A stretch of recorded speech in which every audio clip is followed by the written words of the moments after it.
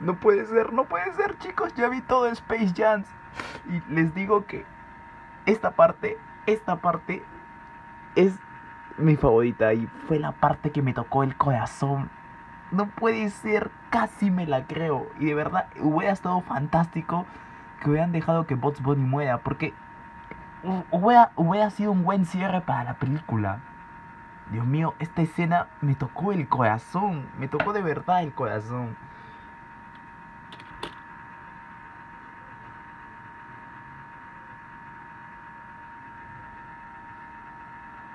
Oh, Dios, Dios, Dios, Dios, no puede ser.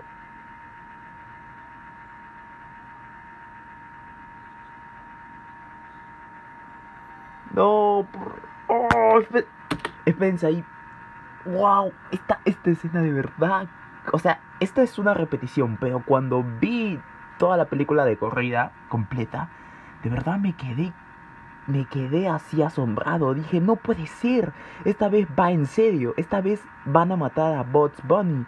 Y, y de verdad, mm, bueno, no les quiero hacer spoiler para los que algunos no lo, no lo hayan visto. Así que, bueno, sí les voy a hacer spoiler. ¿ya? A la final Bots Bunny no está muerto. Solo hicieron que se, que se muera acá en esta parte. Pero a la final eh, revive. Creo que se va al mundo, al mundo de los humanos y se queda con LeBron James.